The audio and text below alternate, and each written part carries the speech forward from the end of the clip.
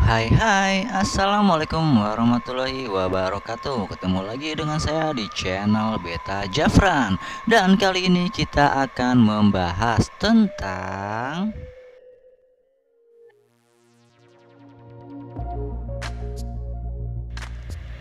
Hai hai. Jumpa lagi di channel Beta Jafran Kita meneruskan dari konten yang kemarin setelah kita menetaskan kista dari Ek Artemia dan sekarang kita akan memindahkan ke kolam pembesaran teman-teman. Sebagai informasi aja saya menggunakan Ek Artemia yang memanennya menggunakan magnet. Jadi kemarin sudah kita praktekkan bagaimana caranya memanen si cangkangnya menarik cangkangnya dari wadah Artemia ini ya silahkan teman-teman yang belum menonton uh, video sebelumnya nanti setelah ini bisa ditonton videonya bagaimana cara saya menggunakan stick manual magnet ya.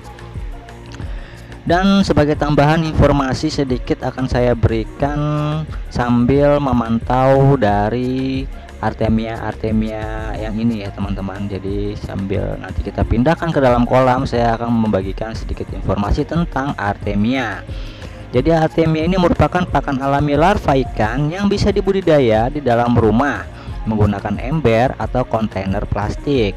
Budidaya dilakukan pada air yang sudah dilarutkan dengan garam ikan terlebih dahulu untuk menciptakan lingkungan yang sesuai dengan habitat aslinya. Jadi air ini harus asin ya teman-teman. Jadi bisa menggunakan garam ikan.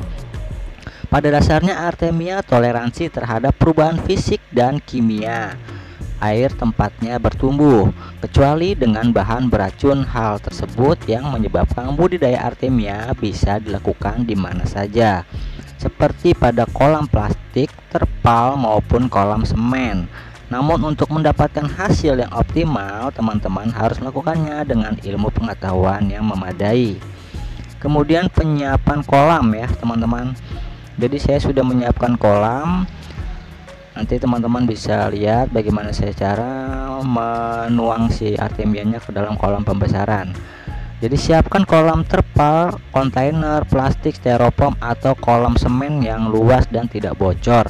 Isi kolam tersebut dengan air dan garam ikan yang salinitasnya tinggi mencapai 70 sampai dengan 80 ppt dengan kedalaman 60 sampai dengan 100 cm. Penggunaan salinitas yang tinggi berguna untuk mencegah predator Artemia masuk ke dalam kolam. Dan sebelum kita membesarkan Artemia ini teman-teman harus menyiapkan dulu nih untuk penetasan kista Artemianya. Untuk memulai budidaya, benih Artemia ditebar ke kolam. Sebelum ditebar, benih harus disiapkan terlebih dahulu dengan cara penetasan kista Artemia dari kista Artemia yang telah dikeringkan. Penetasan kista Artemia dapat dilakukan dengan memasukkan kista ke air asin dengan salinitas 20 30 ppt dan pH sekitar 8 kemudian suhunya sebesar 26 28 derajat Celcius. Nah dari sini kita bisa tarik kesimpulan ya teman-teman untuk menetaskan si Artemia ini kita butuh salinitas di 20 sampai dengan 30 ppt ya teman-teman. Kemudian untuk membesarkannya kita harus lebih menambah lagi untuk salinitasnya ya agar tinggi mencapai 70 sampai dengan 80 ppt itu yang di kolam pembesaran teman-teman Oke teman-teman kita langsung mulai aja masukkan si Artemia yang telah menetas ini ke dalam kolam pembesaran. Jadi kolam yang saya pakai adalah ukuran 1 meter kali 1 meter tapi saya bagi dua untuk pembesaran fire shrimp fire shrimp menggunakan air tawar Artemia menggunakan air asin. Saya satukan di situ tapi untuk fire shrimp saya pakai ikan terpal agar air asinnya tidak masuk ke dalam kolam terpalnya. Nah, di sini ada fire shrimp yang masih kecil ya, teman-teman, karena warnanya putih jadi tidak terlihat. Dan kemarin juga sudah saya masukkan, saya masukkan itu dapnya makna ke dalam situ untuk menjernihkan airnya. Karena masih kecil, jadi belum kelihatan. Tapi kita akan tetap update terus buat teman-teman ya biar teman-teman bisa mempraktekannya juga di rumah. Dan sekarang kita langsung aja masukin soliternya ke dalam kolam pembesaran Artemia. Ini sudah saya masukkan garam ya teman-teman satu kilo. Satu kilogram. Karena untuk membesarkan kita butuh salinitas yang tinggi. Beda dengan saat kita mencoba untuk menetaskan ya teman-teman jadi di sini akibat salinitas yang tinggi, telur artemia akan mengambang di permukaan air dan bisa dipanen setiap hari selama dua bulan. Selain kista, ada Anda juga bisa memanen biomasa artemia beberapa kali selama masa budidaya, teman-teman.